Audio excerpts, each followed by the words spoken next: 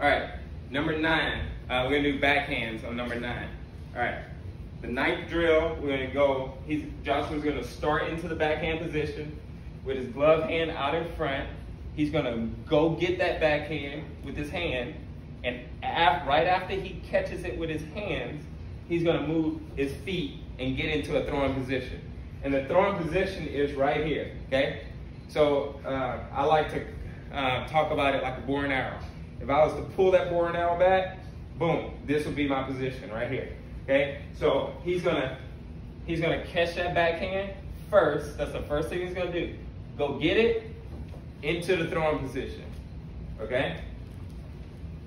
Go get it into the throwing position. Okay? What I'm looking for when he does this, I don't want him to jump up like this. I want him to stay low. Catch it, stay low. And I want and I use the word quiet a lot because I don't want anything really noisy. I don't want his feet to be noisy. I don't want his body to be noisy. So this is a this is a noisy body right here. See how my body is jumping up really quick? This is a quiet. This is a quiet body.